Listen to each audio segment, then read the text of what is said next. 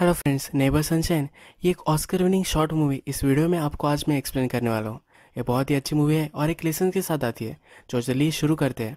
Movie start होती है और हमें एक अपार्टमेंट दिखाई गई है। यहाँ मदर और फादर होते हैं।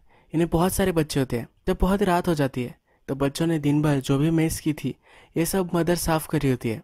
फादर बच्चों को सलाह कर वापस आ जाता है। ये दोनों फिर अपने डिनर टेबल पर रिलैक्स होने के लिए बैठते हैं। इनकी डिनर की टेबल के पास एक बड़ी सी विंडो होती है।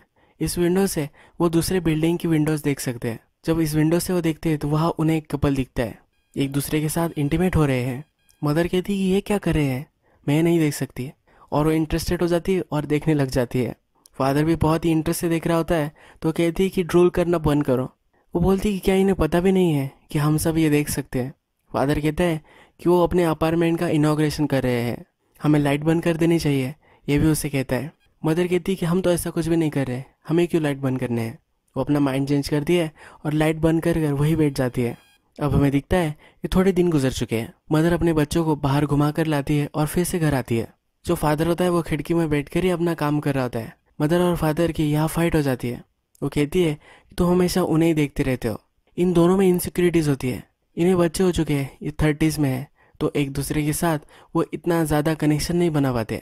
मदर उस पर चिढ़ कर बोलती है कि तुम घर में कुछ भी ध्यान नहीं देते। बच्चों का सब ख्याल वगैरह भी मुझे ही रखना पड़ता है। उन्हें बाहर भी मुझे ही लेकर जाना पड़ता है। तुम सिर्फ़ अपनी दूरबीन लेते हो और खिड़की से झाँकते रहते हो। फादर ने उसके बर्थडे के लिए दूरबीन मंगवाई होती है। फादर कहता है कि सिर्फ़ मैं ही नहीं हूँ, जो उन पर हमेशा ध्यान रखता है। तुम्हें हमेशा उन्हें देखती रहती हो। अब वो कपल पर छिट गई होती है। वो कहती है कि क्या इन्हें कर्टन्स के बारे में नहीं पता है? या कोई उन्हें देख सकता है? इनकी भी इन्हें शब नहीं है। हमेशा ये पार्टी करते रहते हैं, यह भी मदर फादर देखते हैं। इन्हें बहुत ही जेलस महसूस होता है। इनकी जो लाइफ है, ये बहुत ही स्टेबल है।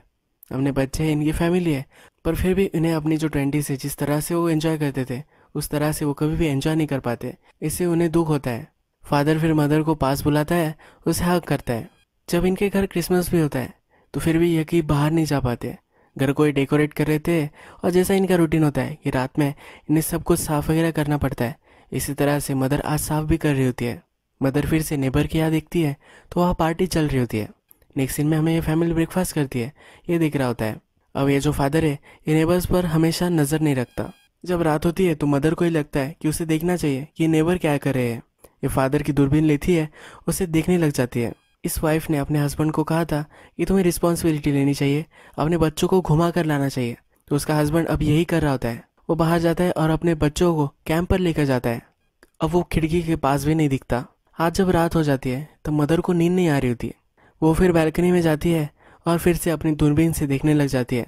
वो देखती है कि जो उसके नेबर्स है, उसकी जो वाइफ है, वो अपने हस्बैंड को कंसोल कर रही है। यहाँ कुछ प्रॉब्लम हो चुका है, ये उसे पता चल जाता है। ये जो नेबर्स होते हैं, बहुत दिन तक घर पर नहीं होते। थोड़ी दिन बाद जब ये घर पर वापस आ जाते हैं तो as a general curiosity father mother से बोलता है कि ये कहाँ थे? उसने नेबर को दिखा होता है। जो नेबर हस्बैंड होता है, उसके बारे में कहता है कि कुछ अच्छा नहीं दिख रहा। वो उसके लिए थोड़ा सा वरी करता है। थोड़ा वक्त जब गुजर जाता है तो मदर फिर से खिड़की से झाँक कर देखती है। उसे फिर दिखता है कि जो नेबर है, उसके बाल झड़ चुके हैं। उसे मिलने के लिए उसके मदर एंड फादर आए हैं। वो पेड़ पर होता है। वो अपने नेबर के लिए वरी करती है। रात में फिर एक बार जब वो खिड़की से देखती है, तब उसे मालूम होता है कि जो नेबर था, वो मर चुका है। नेबर की वाइफ रो रही है। इसे बहुत ही बुरा लगता है और अगली बिल्डिंग में वो देखने के लिए चली जाती है। नेबर की बॉडी हॉस्पिटल में जा रही होती है। नेबर की वाइफ जो होती है, उसके पास ही आ जाती है। मदर उसे कंसोल करना चाहती है, उसे बोलना चाहती है, उसे कुछ बोल नहीं पाती। तो नेबर की जो वाइफ होती है, वही बोलती है, मैं तुम्हें जानती हूँ, हमारे अपार्टमेंट से तुम्हारी अपार्टमेंट दिखती है, तुम वही हो जिसके तीन बच्चे हैं, तुम्हारा हस्बैंड है। वो कहती है कि तुम्हें अजीब लगेगा, पर मैं और मेरे पति, हम दोनों हमेशा तुम्हें देखते रहते थे। तुम्हारे बच्चे बहुत ही क्यूट है, तुम्हारी जो फैमिली है, ये कितनी बढ़िया है। अभी नेबर की वाइफ रोने लग जाती है और मदर उसे सहारा देती है। रात में हमें मदर घर पर दिखाई गई है और उसे अब अपनी फैमिली के बारे में एक नया पर्सपेक्टिव मिल चुका है। हम हमेशा दूसरे की लाइफ में जागते हमारे पास जो है, उसे हम अप्रिशिएट नहीं करते। एक ब्यूटीफुल मैसेज ये मूवी देकर जाती है। जो नेबर थे, उन्हें लगता था कि उनकी भी इतनी अच्छी फैमिली होनी चाहिए, क्योंकि उनके पास फैमिली नहीं थी। जो मदर एंड फादर थे, उन्हें जो फ्रीडम नेबर के पास था, वो नहीं था। वो फिर से, जैसे वो ट्वेंटीज़ में थे, वैसे नहीं जी सकते थे। उनकी लाइफ स्टेबल हो चुकी थी, पर कभी कभी उन्हें भी मज़ा करना था। ये दोनों एक दूसरे से चलते थे, पर अपनी लाइफ कितनी परफेक्ट है, एक दूसरे को कभी पता नहीं था। जब नेबर मर चुका है तो मदर को अपना पर्सपेक्टिव मिल जाता है कि उसके पास जो है, वो कितना वैल्यूबल है। बेस्ट लेसन के साथ ये मूवी एंड हो जाती है। इस बार मैंने एक नया एक्सपेरिमेंट किया है। इसमें मैं शॉर्ट मूवीज़ को एक्सप्लेन करना चाहता हूँ। अगर आपको और भी ऐसी वीडियो चाहिए होगी तो प्लीज़ कमेंट में बता दीजिएगा। यानी कि मैं और भी शॉर्ट मूवीज़ पर वीडियो बनाता रहूँ। अगर आपको ये वीडियो अच्छी लगी होगी तो प्लीज़ इस वीडियो को लाइक कर दीजिए।